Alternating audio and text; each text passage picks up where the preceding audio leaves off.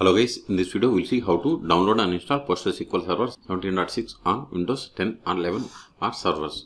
But the process is same on all Windows versions. Okay. First go to PostgreSQL official website that is postgresql.org. Hit enter. See here at the time of installation latest release is 17.6. You can click on download or click on download both are same. Then select Windows then click on download the installer.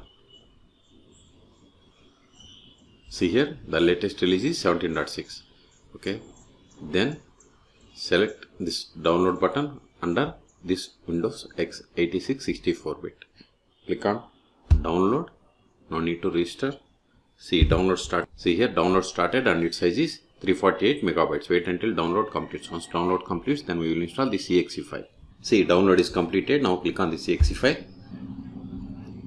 click on next see this is the installation directory if you want some other click on this browse button and select the path where you want to install then click on next see here now we have to select the components see by default it has selected PostgreSQL Server, pgadmin, stack builder, command line tools.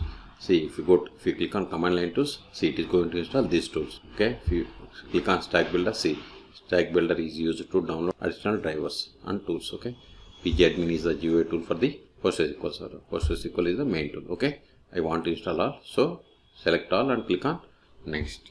See, this is the data directory location. If you want some other, click on browse and select the path. Okay, then click on next. Now we have to set the password for superuser that is Postgres. Remember this password. Later we need this password to log in. Then click on next. See, this is the default port for the PostgreSQL server. Okay, click on next. Localize settings. I'm going with the defaults, but you can select from this list. Then click on next. See, this is the free installation summary. If you are okay with all the settings, then click on install. Otherwise, if you want to modify any one, of, any one of these options, you have to click on back and you can edit. Okay, I'm okay with these settings. Then click on next. Ready to install. See, installation has been started. This will take time. I'm going to pause this video. After installation, we will connect to PostgreSQL server and we will create database and users. Okay.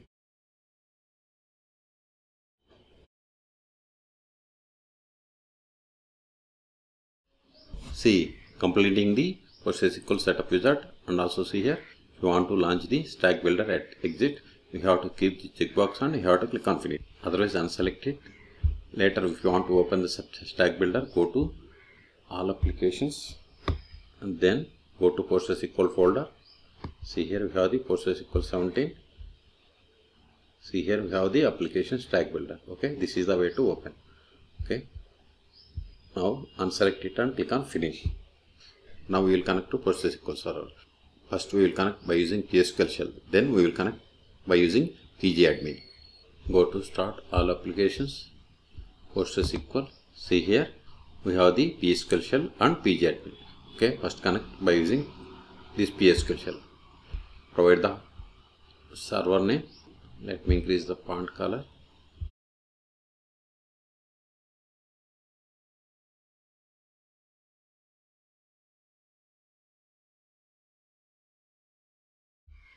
PostgreSQL server is installed on this PC, so localhost is fine. Hit enter. Database default database comes with PostgreSQL is Postgres, so hit enter. Port 543 hit enter. Username Postgres. Then provide the password that we have set for this user, that is Postgres. So provide the password and hit enter. See, we have successfully connected to PostgreSQL server. See, this is the PSQL client version, not the PostgreSQL server version. Okay, but to verify the version of the PostgreSQL server, we have to run the command select version. See, we have connected to PostgreSQL Server 17.5. Okay, now verify the list of the databases. Backslash shell. See, these are the default databases that comes with PostgreSQL installation. But we can also get the list of the databases by running select datname from pg underscore database. See, we got the same. Okay, now create a database. Create database. Then provide the name of the database. See, database successfully created. Now verify the same by running. See, we have the new database bank. Okay. Now switch to this database and create a table. To switch to database you have to use backslash cr backslash connect either is same. Okay then provide the name of the database. See you are now connected to database bank as user postgres. Okay now verify list of tables backslash dt see you don't have any tables. Let us create table create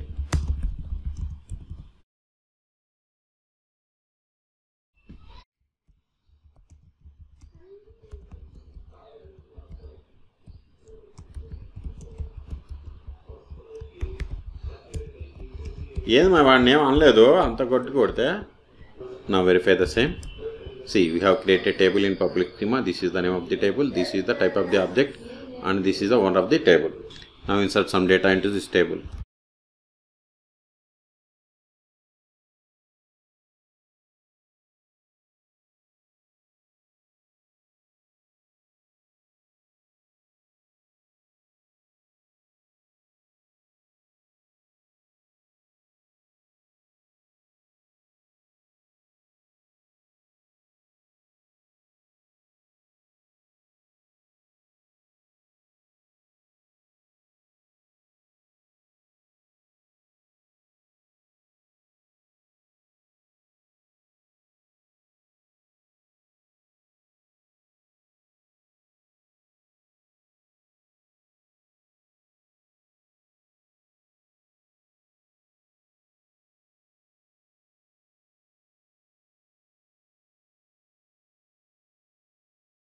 see we have inserted these rows. Now verify list of users and create user. See we have only one user that is postgres. Let us create user. You can also get the list of the users by running select username from pg underscore user. See we got the same. Now create user create user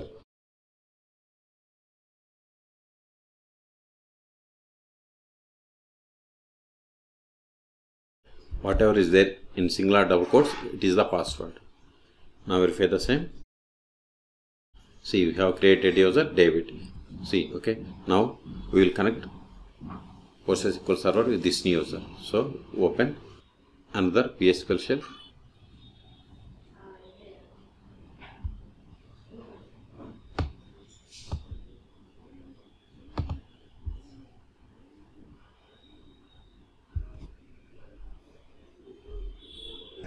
here we have to give the username. Username is david. Then provide the password that we have set for this user see we have successfully connected. Let us verify the currently logged in user. Select current underscore user. See we have successfully logged into the PostgreSQL server with the user david. Okay? Now we will connect PostgreSQL server from the pgadmin see here we have the pgadmin port open it see it's opening pgadmin 4 see by default it has added connection if it is not then right click then select register then select server. Now we have to give the any name pg 17.6 then here in connection we have to give localhost. Port number is 5432 maintenance database. We have the same maintenance database postgres username postgres. Okay then provide the password of this user then we have to click on save. See we have successfully connected. Right click on any see we have database that here. See see we have the database bank that is created by us. Okay? And if you want to see the logins see this is the user that you have created. If you want to run queries against this database right click and select the query tool. Now we can run the queries okay? If you want to create database again right click on databases then select create then database okay? And if you want to go to schemas tables see here we have the table that we have created okay? How the last step that i want to show you is how to stop start and restart PostgreSQL server on windows operating systems. Go to services.msc then press p. See here we have the PostgreSQL 17 see its status is running okay? If you want to stop click on this stop link or stop button if you want to restart select restart or restart okay or right click and select the stop or restart okay so in this video we have seen how to download install and configure PostgreSQL Server 17.6 on Windows 10 or 11 or servers okay for more PostgreSQL tutorials please subscribe my channel thank you